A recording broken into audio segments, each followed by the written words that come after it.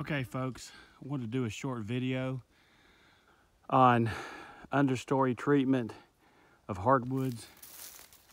This is a site that uh, has got a lot of sweet gum on the understory, or in the understory, I guess I should say.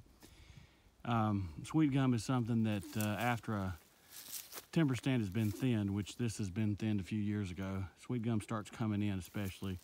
Other hardwoods too, but Sweet gum's real bad about this.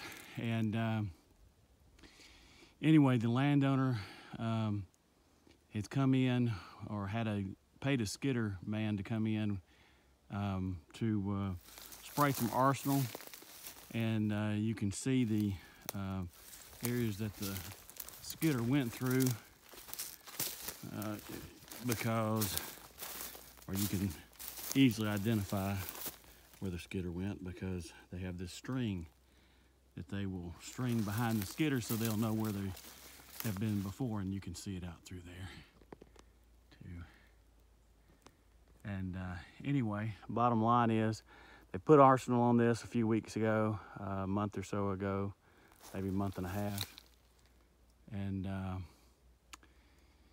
basically it's, a, uh, it's a chemical that will uh, take out its the uh, sweet gum and, and will not hurt the pine.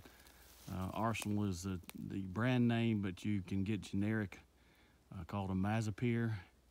It's a very good chemical, but it will kill the heck out of oak trees, so you do not want to use it around oak trees. Anyway, just wanted to uh, show everybody this uh, this site and um, in case you've got an area that's too thick with sweet gums. One thing that you can do is to burn it. It's the best thing, best tool you can use. But if you can't keep up with a sweet gum, um, using uh, imazapyr is the way to go. In this case, the sweet gum was only about five feet tall. Um, probably could have been handled with fire, but it'll just cleaned it up a whole lot faster using the herbicide. So anyway, stay tuned for more management videos.